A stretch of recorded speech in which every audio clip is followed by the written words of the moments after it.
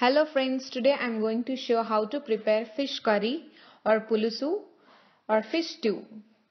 Add ingredients for fish curry or fish stew. Fresh fish, cut it into small pieces this size and uh, clean it properly. Tamarind puree, I have taken half lemon size tamarind and soaked it in warm water. Half tablespoon garam masala, 1 tablespoon chili powder, half tablespoon turmeric powder, 1 tablespoon coriander powder, half tablespoon cumin powder. Here I have taken few whole spices.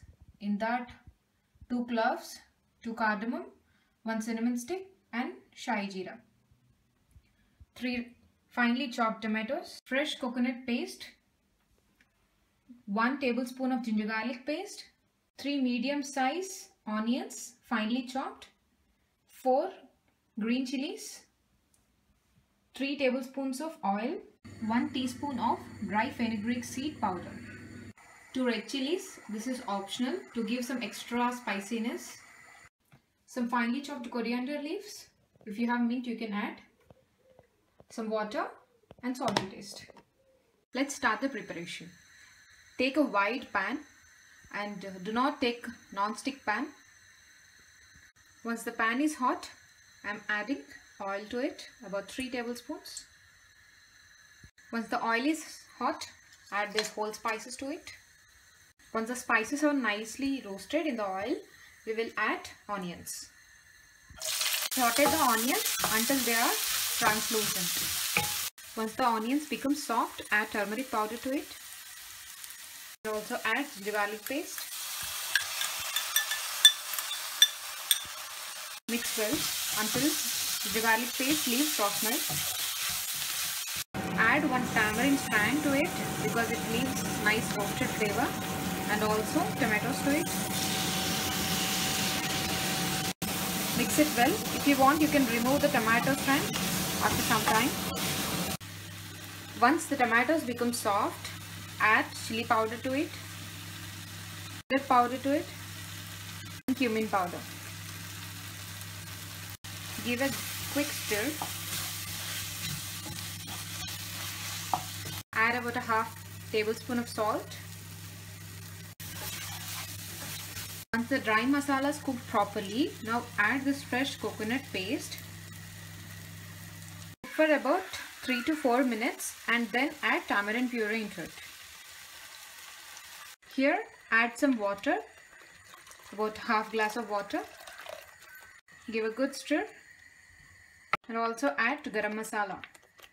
It is about half tablespoon. If you want, imagine remaining half glass of water as well now. So now in a medium flame, we'll cook for about 8 minutes. After about 4 minutes, add dry fenugreek seed powder into it. Add about 2 dry red chilies now after 8 minutes. It gives some extra spiciness before adding fish into it.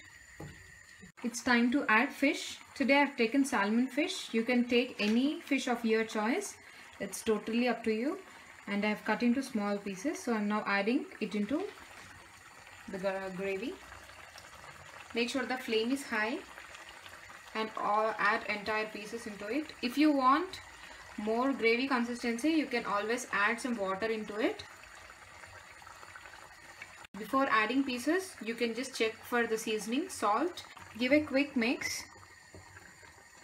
Mix properly in the beginning only before the fish cooks. Uh, once the fish starts cooking, you can't mix it because it will break. So this is the only one time you will mix it. We will close the lid and cook it for about 5 to 8 minutes on a high flame. Open the lid after 8 minutes and now you can turn off the flame and uh, add some coriander and mint leaves on top of it. Now the fish curry or fish stew is ready to serve and I have garnished it with some coriander leaves. Have this fish curry after 1 hour with along with some rice or roti. It tastes really good. So friends, please try this recipe. It is very simple recipe to cook fish.